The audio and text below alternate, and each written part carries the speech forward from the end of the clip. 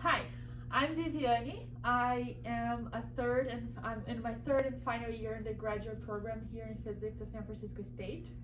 Uh, and my name is Bryce Baker. I am in my third semester at San Francisco State. Uh, and we both work in uh, uh, Nuez's lab. Uh, yeah, so this is the Quantum Materials and Devices Laboratory of Professor Nuez. Um, I've been working here for almost four years, and the way that I got here was a very specific and long story that I'm gonna um, spare you with. But I have a very non-traditional journey, and uh, and I'm kind of on the other end of the spectrum where I had a pretty traditional journey. I came here right after my undergrad, uh, and I've spent a year in this lab so far, and I've been enjoying every second of it. So we're gonna give you a tour of our lab and we have you have our emails and you're free to contact us if you have any further questions about the lab, about our research, about our journey and our personal experiences, or uh, about the program. Feel free to uh, contact us and welcome to our tour. To be able to open our lab in the times of COVID, so you can see that we have red marks on the floor. Um, our lab has been um, split into sessions and there's only one person allowed in each session at a time. Some of our uh, sessions are shared space, so we have to wait for someone to leave for us to be able to come in. So right here, for example, is my session of work. Over there, we have Bryce and Dan's workstation. Uh, here is our transfer stage with Bryce. We're gonna give you a more specific tour later on. Uh, here is our electronics station. So this is where we do our soldering, we uh, play with capacitors and resistors and uh, tweak our electronics. Here we have a wire bonding machine. Um, and what else? So over there we have, here we have a probing station. Here we have our chemical station. We also have another lab with the fume hood where we do uh, stronger chemicals, but you know, for simple sonication and cleaning processes, it's okay to use to be here with our nitrogen tank. Here we have our CVD station. So this is a chemi chemical vapor deposition uh, furnace where we can grow monolayers of graphene. Um, here is our postdoc station and here is our microscope. So this is the, we have another microscope in the lab, but this is our main most important one. This is also a shared equipment. So we had to put together a bunch of cleaning procedures and protocols for us to all be able to share this safely. Basically what we do in our lab, we study two-dimensional materials and we study exfoliated ones. We do have a furnace where we can grow um, atomic layers, but most of the time we actually exfoliate from bulk. So to explain a little bit what that means, is that we have this material. So I, here I have three examples. So for example, this is molybdenum disulfide. So you can see that there's like a rock and it's naturally occurring in nature. And you have this piece of metal here on the top. It's not actually a metal, it's a semiconductor. But I don't know if you can show it here that you, you can already see that it's layered. So we can just peel a piece of, of this with a tweezer and then we sandwich between two pieces of scotch tape. Here, the amount of tape that we have. Uh, we ended up with something like this. So we exfoliate, we just peel the tapes apart over and over, and then eventually we put it on a piece of substrate and we map, map it on the microscope and you find something that is atomically thin. So I have here, we have, we work in the lab with uh, graphene, which is basically the thin flakes of graphite. So here we have 99% pure graphite flakes. This is franckeite, is another layer material that we have. This one is fairly special because instead of having a single atomic layer, it has two, and they are alternately stacked. And this one is the MOS2. We also have some other materials in a desiccator uh, that comes from other collaborators and such. Um, but yeah, after uh, this process, then we have the flakes on a substrate. Uh, actually, the substrate is fairly small, so let me get a piece like this, for example. So this is one substrate and there are many, many, many flakes somewhere in a little spot in there that we find in a microscope. So this is the crystal structure of molybdenum disulfide, was the one that I showed.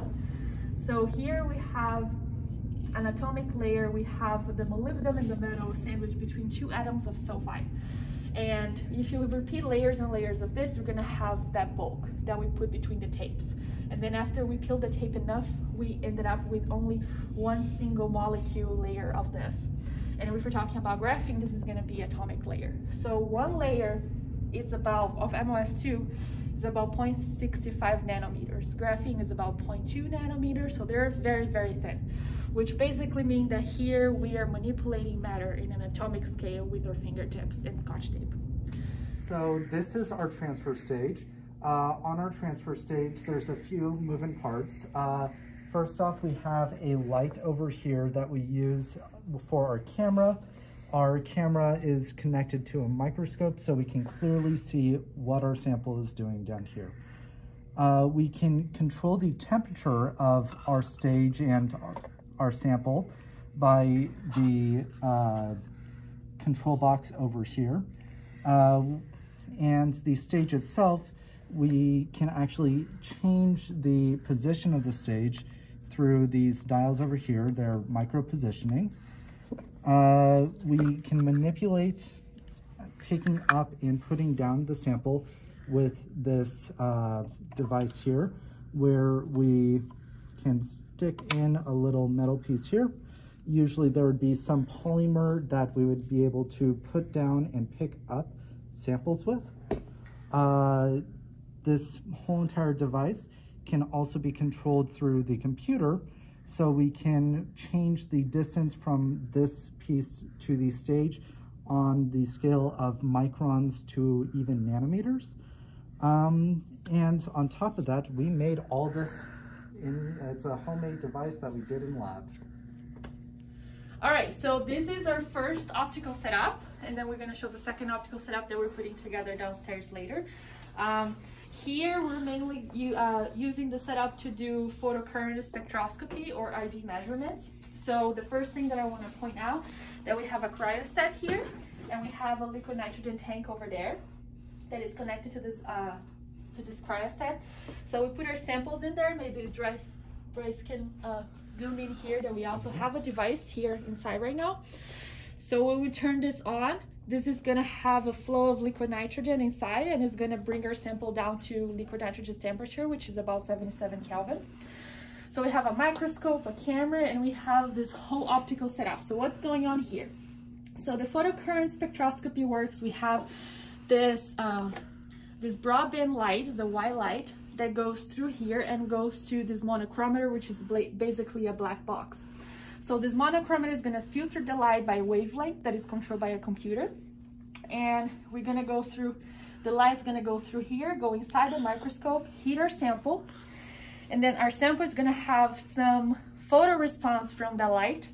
And you see here that we have this blue uh, wire, this blue cord. So our sample is gonna absorb the light and it's gonna have some electrical effects that is gonna go through this wire and it's gonna go all the way there to that box where this blue cord is connected. So here we have our pens. So now we have a bunch of different electronics. We have a lock-in amplifier, we have a preamp, we have a, um, multimeter, we have a power supply, and a bunch of other stuff that we can do uh, several different things. So basically the light goes in, we control the wavelength of the light and we can start vary the wavelength and we measure the current that is being generated by our device by each wavelength of light through this box that is connected straight to our computer. All right, so this is our second optical setup. The first thing that I want to point out is that you see we have a bunch of crates here. There's actually an even larger one out in the corridor. So this is an equipment that we acquired and currently not ready but this equipment is going to allow us to take a lot of different measurements on temperatures of liquid helium, which is about 1 to 2 Kelvin. Um, it also has a magnet of 12 Tesla, so we're going to be able to do a lot of interesting and fascinating things when this thing is ready, which should hopefully be in a few months. Um, and right here we have our second optical setup. Uh, and there's, you can see there's a lot of things going on right now. it's we it allows us to do like a bunch of different stuff, but I'm just gonna explain a little bit very quickly on our RAM, Raman system that we're building right now. Yeah. Okay, so this is our laser. We use green laser for our Raman experiments here. And this laser, you can see that is very, very strong. So we need to use goggles for it. And yeah, so this is just to illustrate how it works. This is our laser path, and this is the fiber that is this blue cord that goes all the way to an optical setup. So our laser is over there, maybe not see, not be able to see from the camera, but the laser is going inside this fiber here on the blue wire and then it goes in the system here. And then our sample is staying on this stage right here. So it goes through this objective that is coming through this hole. So what is the path that the light is taking from here to down to the sample? So if you look here, we have the lasers going here, then we have a beam splitter right here that is gonna change the laser to this angle and it's gonna go here. Then we have another one that is gonna change right here. When we get to this mirror over here, it flips our laser through here and it goes down this way and down to our sample. It hits our sample, our sample has some optical response from the light and the optical response of the light from the sample goes back up and it goes back here where it goes through this mirror and then it bounces off this way. So here we have that our spectrometer, which is our detector, is going through this black optical fiber here, or we have our camera. So if we leave this mirror over here in, then our late our signal coming from the sample is going to hit here and it's going to bounce through the camera where we can see in our computer. Or if we actually want to take the measurement, we're going to take this one out and the light is going to come from here straight to our detector. And we can move these mirrors around to change the laser path to the detector or the light that we want to use at the time. So this is a very versatile uh, setup. It's a little bit difficult to work with because we have all of these moving parts. So it requires some some amount of I don't know training and be able to see here for a while and figure out how the moving parts work. But it's also very rewarding when you actually have a sample that we fabricated upstairs and we bring here, we have all of these moving parts and we make it work and we acquire some data, which often gives us some very interesting physics.